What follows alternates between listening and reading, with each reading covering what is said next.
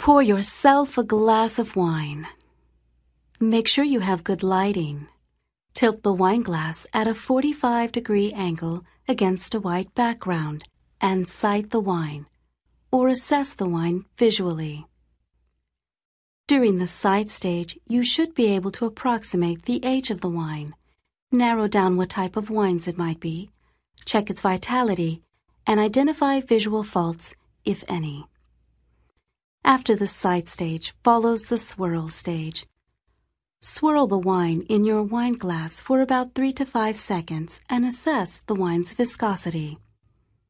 Hold the wine glass at eye level and check the patterns formed by wine droplets on the side of the glass. This is also known as the tears or legs of the wine.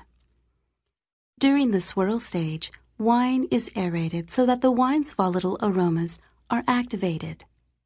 This prepares the wine for the sniff stage that follows. Now, it's time to sniff the wine. Hold the glass in such a way that your nose is inside the mouth of the wine glass. Then inhale. Sniffing is the process of smelling wine through your nose or orthonasal olfaction. As you sniff, the volatile odor molecules or aromas from the wine enter your nasal cavity. The mucus covered olfactory receptors inside your nose capture these aromas and transmit the information to the olfactory bulb, your brain's odor processing center. The olfactory bulb then tries to match the perceived aromas against your olfactory memory database, or your smell or scent memory. Next, Sip the wine to assess its retronasal aromas and taste. As the wine gets in contact with the warmth of your mouth and saliva, previously non volatile aromas evaporate inside your mouth.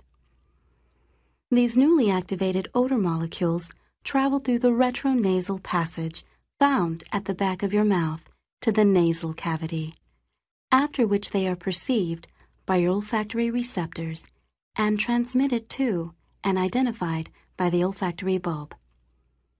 Taste is processed differently.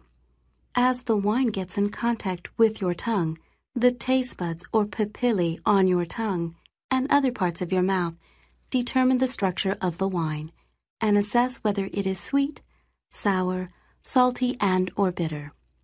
This taste information is relayed to the brain where it is analyzed and processed. After tasting the wine and smelling it through your retronasal cavity, swallow the wine or spit it out.